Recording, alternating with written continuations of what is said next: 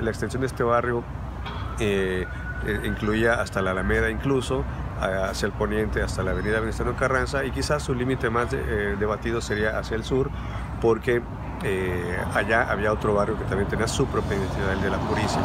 Así que para los habitantes viejos de estos dos barrios se sabe perfectamente que había una, rivalidad literal entre los ricos de la Purísima y los, de la clase obrera del barrio del Mediterráneo. Por supuesto estoy hablando de pugnas que ya son históricas, de, un pasado muy remoto, estoy hablando de los años 20 principalmente. ¿no? Y en aquel tiempo se reconocía el barrio del Mediterráneo como un barrio de, gente brava, gente que no se dejaba.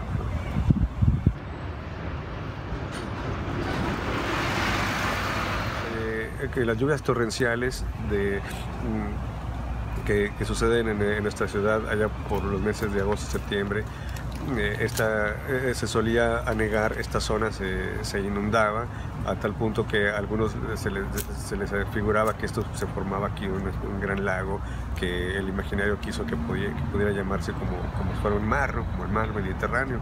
Esa es una teoría.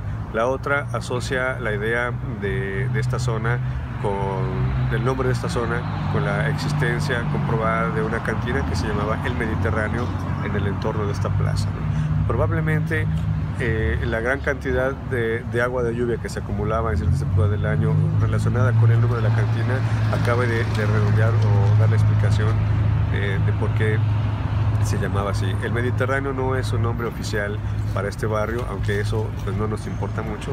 Lo que importa es que así lo llama la gente y, y en ese sentido es válido y no, la plaza no se consolidó en realidad, no, no, existió como, como espacio público construido como lo conocemos ahora, sino hasta finales de los años 20. ¿no? Es, decir, es una plaza en ese sentido urbanísticamente tardía, conformada tardíamente y siempre por inicia iniciativa de los vecinos, ¿no? que con sus propios recursos eh, eh, humanos y monetarios principalmente financiaron eh, la construcción de, de, esta plancha de concreto a la que después se arborizó y que a lo largo del tiempo ha tenido otros dos monumentos eh, aquí antes que el el de Ricardo Flores Magón.